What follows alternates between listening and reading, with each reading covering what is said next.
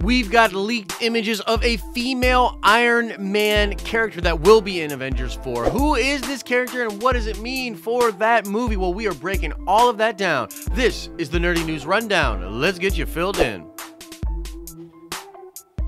Before we get too far into this, I want to shout out Reverse Flash, who got the nerd card question correct in my news video from yesterday. You definitely know your stuff when it comes to DC, so shout out to you, Reverse Flash. We will, of course, do another nerd card question at the end of this video. Oh, and one more thing to regular viewers. I listened to a lot of the comments on the video yesterday. It seems like most people are okay with multiple topics per news show. So that's what I'm to do for the time being. Maybe not on every video, but I will do my part to try to move quickly from the non-main story to eventually the big story at the end of the video. If there's a big outcry, I'll stop doing that, but for now, that's the way we're gonna go. So let's get into this. The first thing I wanna talk to you guys about is more of this Netflix Marvel show drama that we've all been embroiled in lately. We obviously know that Luke Cage and Iron Fist were canceled. I mean, that was a big deal. People talked about it. We did a live stream here where we talked but since then, there's been a lot of questions like, why did Netflix decide to cancel these shows? What is the future of the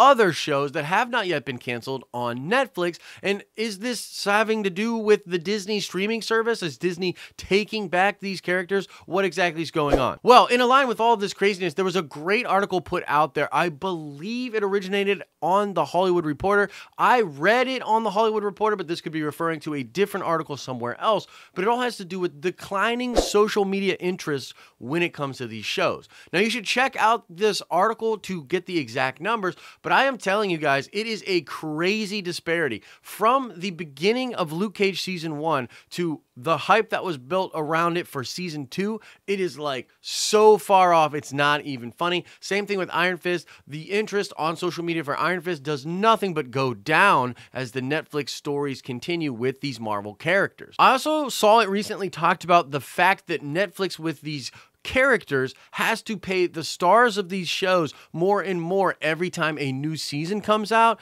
And so think about it. If the interest is declining out there, it's not as valuable to Netflix anymore, and they have to continuously spend more and more money on these shows, I guess it just makes sense for them to cancel it. Now, a lot of people are talking about the fact that Marvel is likely to not give Netflix any new licenses. And so Netflix is in a weird spot as they try to expand their canon with the shows that they've done over there. Now, I think that's probably true, but I think at the end of the day, the reason these shows are being canceled is because the interest for them is declining and the cost for them is going up. It's just simple business. But either way, that article is fascinating. I wanted to bring it to your attention. Have you read it already? Uh, what do you think about it? Let me know in the comment section if you have checked that thing out.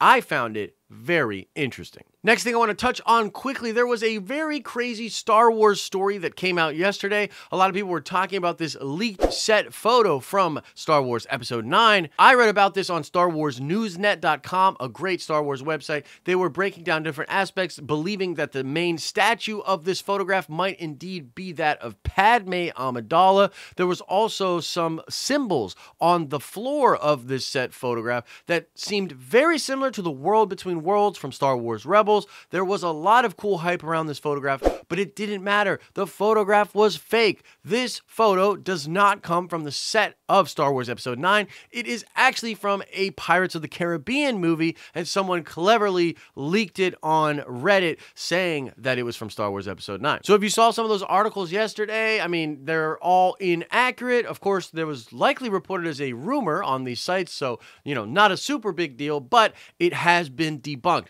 That photograph is not from Star Wars Episode 9. Uh, I'll be honest, they got me on this. I was pretty hype about it. I was actually writing a video about it because I really liked the reference to the world between worlds. I think that's something going on with Ben and Rey in Star Wars Episode 9. But alas, it was all fake. Let me know, did you get bamboozled by that story, or did you kind of brush it off as rumors right away? Whatever you're thinking about that story, let me know in the comments below. All right, let's get into the meat and the potatoes of this video, guys. Holy crap, we got a leaked photograph of Gwyneth Paltrow in an Iron Man esque set of armor on the set of Avengers 4. It's legit, it's totally real. She's actually in this armor, and uh, it coincides with a couple of other things we've seen leaked. There was a toy leak, which, while not giving us much, did have a smudged out character that had the similar body type of this and a similar color scheme. So we think it's pretty stinking official. And it's actually not the first time we've seen the Pepper Potts character in a Iron Man set of armor. In Iron Man 3, she of course gets a set sort of grafted onto her during a crazy fight or explosions at the Tony Stark household. And uh, yeah, so she gets all of that armor on her. She's able to use it halfway decently. And yeah, this is something that's in the comics as well. She is called Rescue. This is the Rescue armor. And at certain points in the comic books, this Pepper Potts character is very adept at using this armor as well. Now, when we look at this set from the leaked images and just speculate about what kind of a role she'll have in the film, it's pretty safe to say this will be a much larger role than the armor just coming onto her for one scene like it did in Iron Man 3. I mean, not only does this set look like it's form fitting, it looks specific to Pepper with its own kind of color scheme, but we have seen photographs on Gwyneth Paltrow's social media of her in a motion capture suit waiting to go onto the set of Avengers 4. So she's going to be in action. She's going to be using this suit. I think that is terrific. I think it's going to be very, very dope. Now, there are a couple of theories about how this will take place. Right now, a big part of the fandom believes there will be a time gap between the end of Avengers Infinity War and the beginning of Avengers 4. A lot of the rumors are circulating around a five year time period. And so we would come in on Earth with all of our heroes sort of scattered to the wind. The Earth itself has learned to exist in the subsequent five years with half of its population gone, but it's obviously still a very dark time on the planet. So if that is the case, it is very possible Tony builds this armor for Pepper. Pepper, of course, knowing how bad things are, starts to train. She, Tony teaches her, and she becomes pretty adept with the suit, and we get to see her in action on our Earth in our universe. Now, conversely, there's another option for this where if the Avengers are messing around with the quantum realm and going to see different universes, different versions of events that have taken place in the MCU that we know, it is very possible we come to a world in which Tony Stark perhaps died. Pepper Potts takes on that role and becomes the Iron Man or the Iron Woman of that universe. I'd actually prefer that option because I want to not only have this just crazy badass version of Rescue with the Pepper Potts character, but it would be very interesting for the Tony Stark of our universe to interact with that Pepper Potts, especially if that Pepper Potts from the other universe has lost Tony. That would be a very interesting sort of universal um, love triangle sort of a thing. I'd be into that.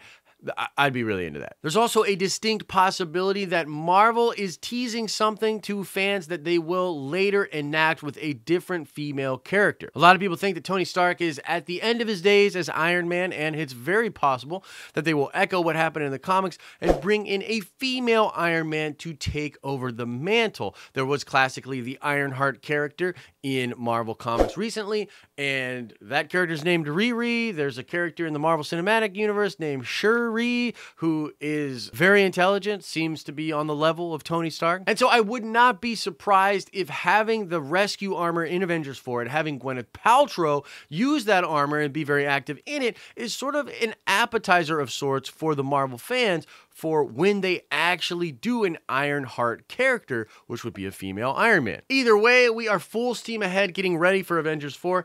Every morsel and detail that leaks out there, that comes out there, is very, very hype. Fans love it. They want to talk about it. I want to talk about it with you guys. And so that's what we're doing here. That is the news, guys. We have leaked evidence that Gwyneth Paltrow will be donning her own set of Iron Man armor in Avengers 4. What do you think about this? Do you think it's our Pepper? You think it's a Pepper from a different universe?